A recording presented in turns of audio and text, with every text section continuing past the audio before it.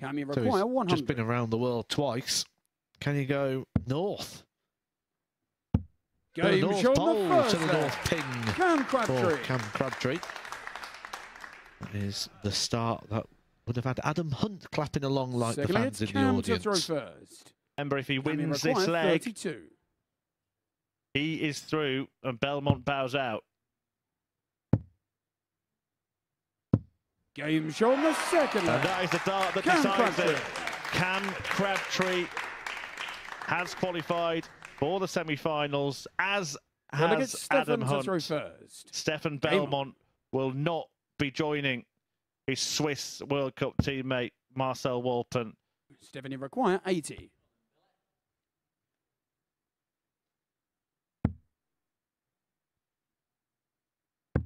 Game shown the third leg.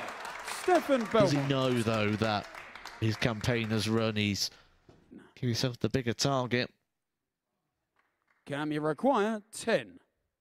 But no one likes double five, especially a flat landing player with a dart.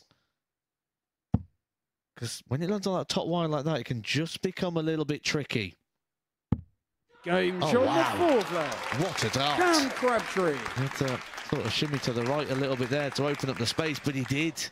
Had to stay out of the way of tops when the 60's on the shot.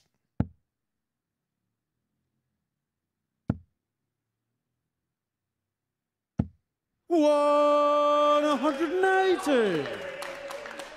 Great you more Stephanie than, requires than you actually think, 76. oh, that was good darts. That's going to give me something positive. Just annoys you when you throw well. Going to annoy himself here. Game Yes, shown he the is. fifth leg. Little Stefan knowing Bellmont. nod from Bellmont. Can you require 10? Fives again for Game Cam Crabtree, and he's shot straight in on this occasion. Didn't Cam need to work around the darts this time. Easiest thing to do, just hit it. Well, it's a nice big open bed. There's your group winner here for Group 2, Cameron Crabtree.